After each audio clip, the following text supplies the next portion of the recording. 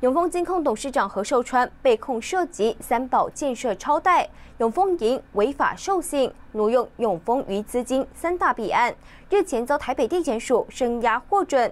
检方昨天发动第三度搜索，并约谈永丰余前任董事长邱秀莹、何寿川的儿女何益达、何益佳及女婿。